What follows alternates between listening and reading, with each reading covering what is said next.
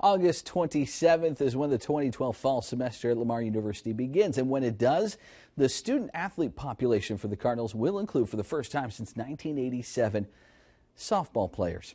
Head coach Holly Bruder has 19 recruits headed her way soon, and Coach Bruder has been a jack of all trades since taking the position of head softball coach at Lamar back in August of last year. What we've seen is that while the camp recently she held this summer, what most don't see is the field at Ford Park. She's been hands-on in building into a Division One softball facility. Coach Bruder also has to start building something on campus, the other side of the soccer complex behind Vincent Beck Stadium is where her home will be. It's all a chance for Coach Bruder to really make her mark at the university. It may be a daunting task, but one the coach is happy about fun, but a lot of work. Um, you know, and, and I, I, hate to sound lazy when I say this. It's more work than what I thought. Uh, getting getting the rest of my coaching staff, uh, getting a team, getting a schedule, doing camps, ordering all the equipment. Uh, all of those things have been very time consuming. Uh, and then on top of it all, I'm working here at Ford Park on, on my field for at least a year, maybe two years. Uh, be out here for a year, maybe two.